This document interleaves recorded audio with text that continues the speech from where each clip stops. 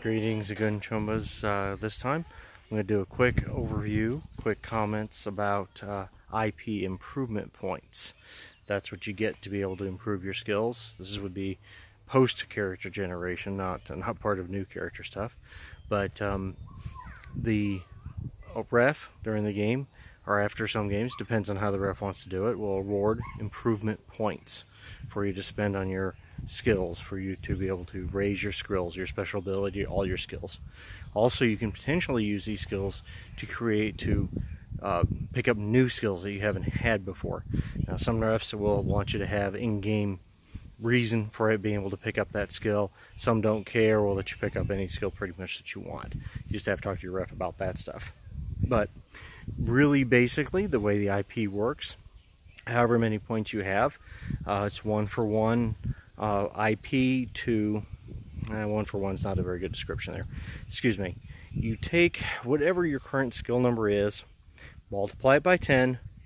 That's how many improvement points it takes to go up by one.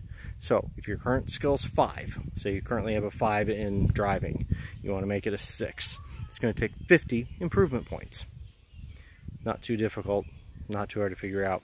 Now again though, like I've mentioned before, the highest you can normally get in any skill is a 10. Now, what I do in my games, and I don't think, somebody correct me in the comments if I missed them, if I'm wrong on this one, but uh, I don't think it's in the book anywhere. But What I do in some games, if I allow more than 10, an 11 or 12 or more, then at 10 to an 11 is a hundred times. Less than 10 is times 10, at 10 and up times 100. So to go from 10 to 11 would take 1,000 improvement points. Good deal more because it's very much, much more difficult once you get above a 10, right? So that's one of my rules. Like I said, if I'm wrong, if I missed that, uh, please do put in the comments somewhere. But that's one of the ones I go by. Normally, normal from uh, picking up a new skill, if you're from 0 to 1, that's you want uh, that's a 10 to get 10 improvement points. 1 to 2 is another 10, 2 to 3 would be 20 improvement points, etc. So, quick overview on that. That's how IP works. Um, another one we'll go over for the ref side, how to give out IP. That'll be for a different video, but just want to do a quick uh, improvement points there. Actually, have one more comment on that I wanted to cover. Some skills have an IP modifier. Um, next to the skill, it might have a 2 or a 3. In fact, if you've been watching any of my career skill uh, overview, uh, like the solo career skills overview, that kind of stuff, you'll see in the in the uh, graphic there, there's a number. Most of them are 0. Most all skills are just 0, but some of them will have a 2 or a 3 next to them. Martial arts, it's really common have a 2 or 3, even 4 uh, next to martial art.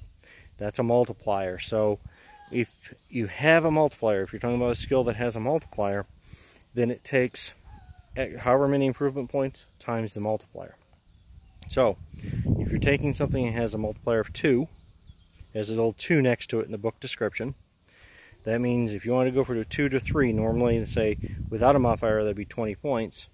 With a modifier, 20 times the modifier, 2, would take 40 points to improve that to a 3. if you're going 2 to a 3, yeah, I got that right, 2 to a 3, would, know it would be 20 points without a modifier, if your modifier is 2, you time multiply by 2, and that's how many points it takes to go up by 1, to go up to a 3. Anyway, I'm sorry if that was only clear as mud. Uh, but, again, comments, thumbs up, thumbs down. If you want me to redo this one, I know that that may not have come across as well as uh, I'd like, as some of the other videos do, did. But uh, anyway, let me know what you think. Subscribe. Let your friends know anybody that's interested in Cyberpunk, wants to learn more about Cyberpunk 2020 uh, throw them a link, throw them a recommendation here to check out my videos. I appreciate you watching. See you in the next one.